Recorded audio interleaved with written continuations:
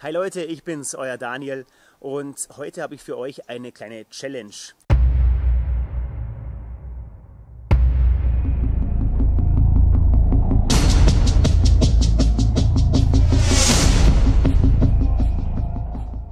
Herzfrequenz steht auf dem Programm.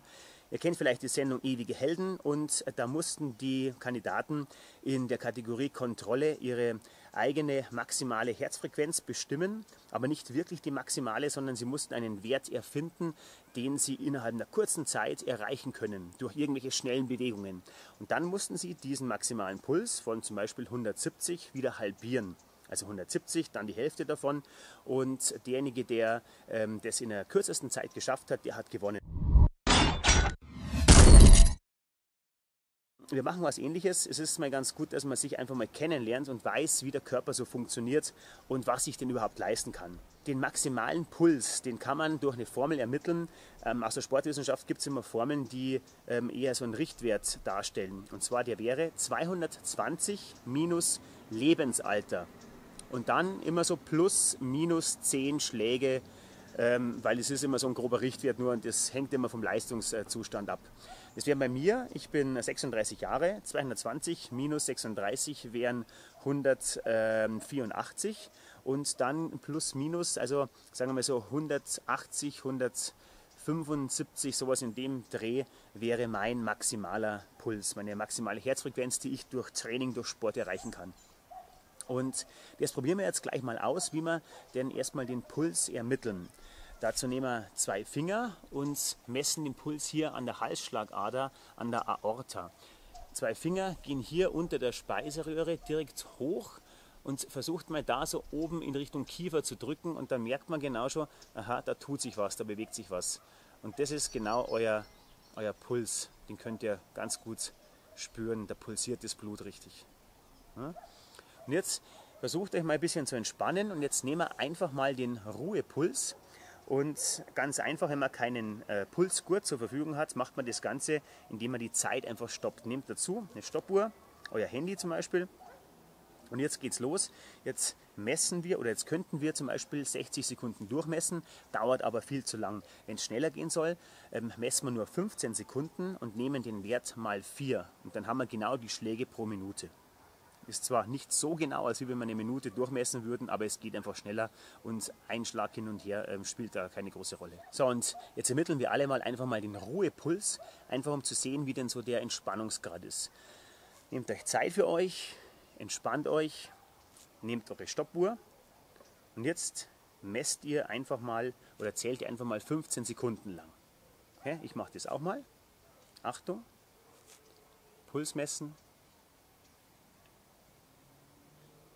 fertig und los geht's. 15 Sekunden zählen.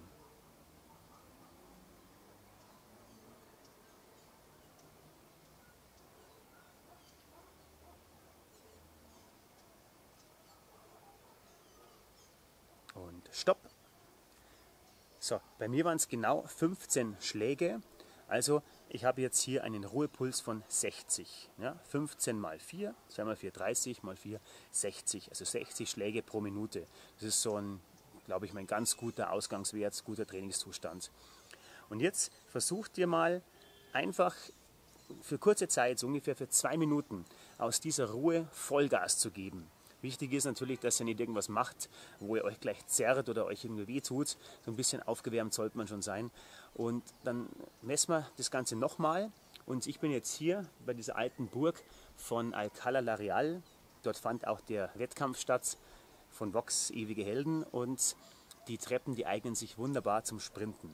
Und ich sprinte jetzt einmal runter und dann wieder hoch und dann sehen wir uns gleich wieder und messen dann nochmal den Puls. Bis gleich. Achtung, fertig, los.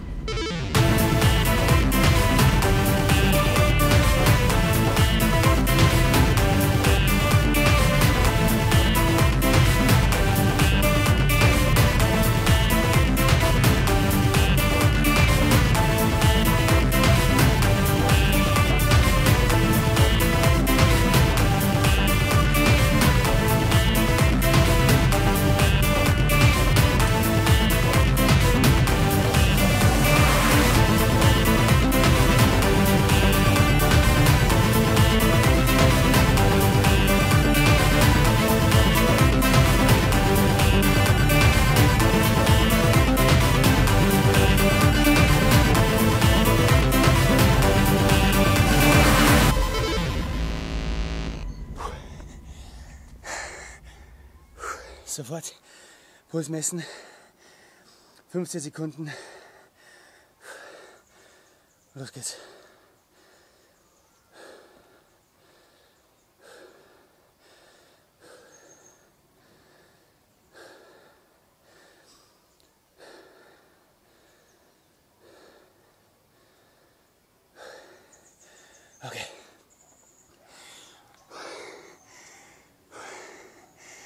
164. Ich Bin bei 164 Schlägen pro Minute.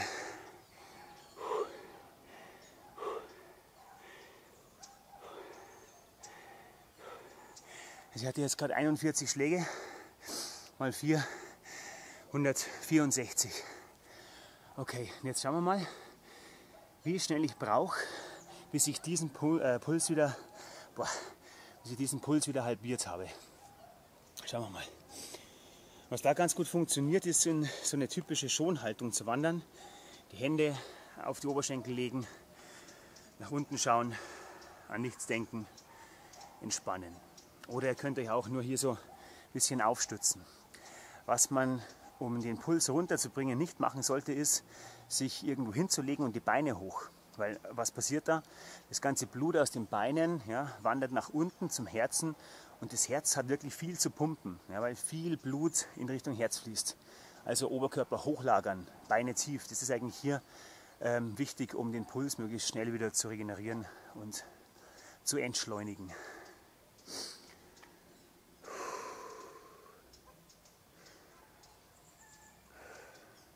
Nun 64 auf die Hälfte, 82 müsste ich haben. Zählen wir mal.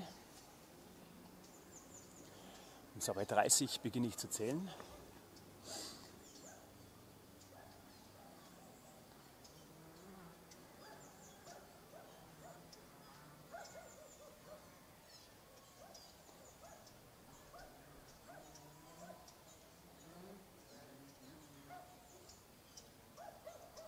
Achtzehn. 18 habe ich. Also 18 mal 4, 72 habe ich schon.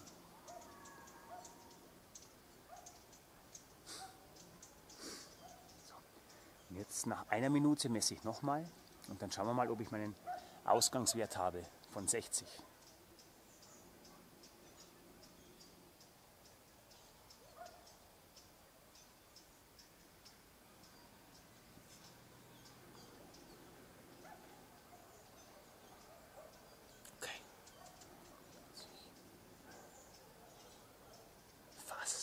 fast bei 64 bin ich. 64. So.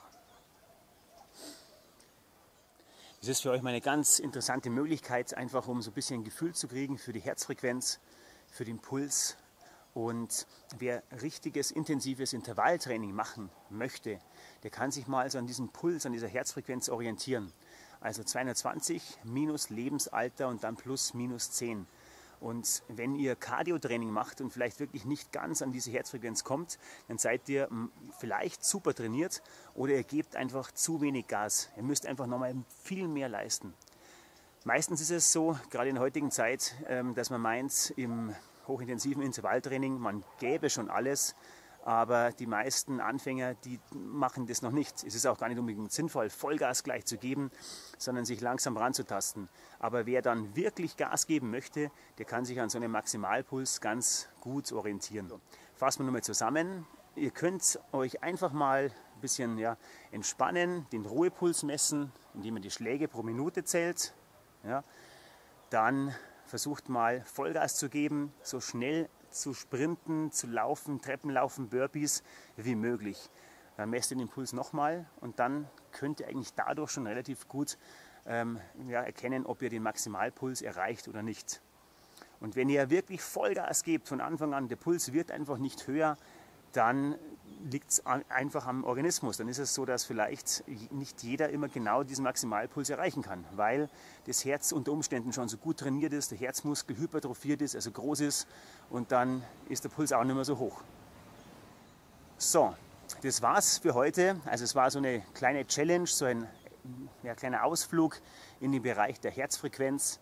Ich hoffe, es hat euch ein bisschen gefallen und schaut regelmäßig dienstags Ewige Helden ab 2. November auf Vox, Viertel nach acht. Ich wünsche euch alles Gute. Wenn ihr wollt, liked mich, abonniert mich, würde mich freuen. Bis dahin, euer Daniel. Ciao.